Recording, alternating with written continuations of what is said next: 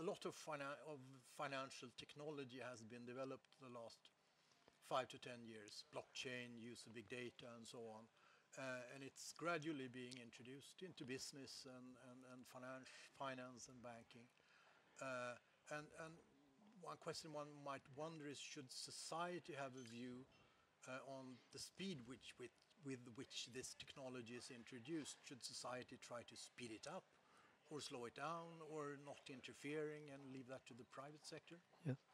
Um, this is obviously a very uh, complex uh, question because um, the I think it's the first thing it's important that members of society understand the technology and don't feel threatened about it. And I'm talking about artificial intelligence uh, and machine learning, but also about the new blockchain technologies that you'll hear about, like distributed ledger, and also the coming one, which is smart contracts. And the problem is that we're in a competition. Uh, we're in a competition with the United States, and actually, more importantly, with the Far East. And it isn't the you could say the genie is out of the box. So it's important that we experiment, understand how the technologies work, uh, and and start new companies so that they're, opera- uh, they're, they're starting here, you know, in Sweden or in the United Kingdom or, or elsewhere in Europe, and not just flowing out to Singapore, Hong Kong, uh, uh and uh, China.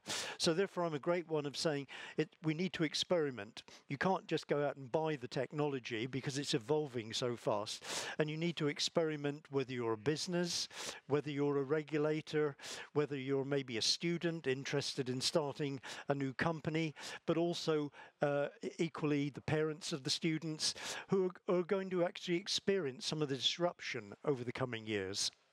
Is that okay? Okay.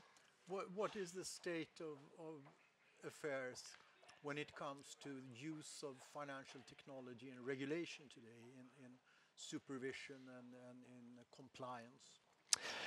The um, I could say uh, you know I'm professor of computing, so um, uh, I'm uh, you know a, a, technophile I should I should say, uh, but but there's there's actually a huge amount uh, of innovation going on in, in, most major cities with with uh, fintech startups and now regtech startups. Private sector in the in the pri- in the private sector is certainly driving it, and I think the governments in most you know countries are actually struggling to to catch up. Now, the uh, this technology is being deployed. People are going to make mistakes in terms of you know putting in technology that doesn't work or uh, maybe it's even unethical. Uh, for example there's a lot of concern in the united kingdom about the new generation of artificial intelligence algorithms and and there's a big discussions of how we regulate them and and how we actually have laws that may be governing the use of this technology.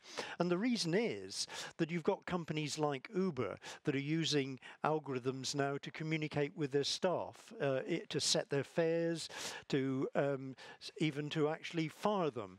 In in other areas, the, there's algorithms that that sift CVs, and we don't know whether these are unethical or illegal. You know, and and we need to uh, you know understand these technologies. And how do you expect how far do you expect this development to have gone in, in five years I, I, I think that we've got to recognize that something is significantly happening in society.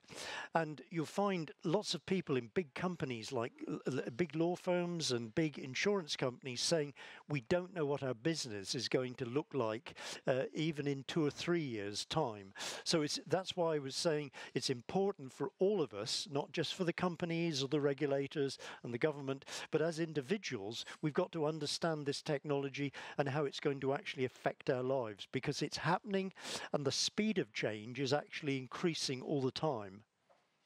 Thank you very much. Thank you. Thank you.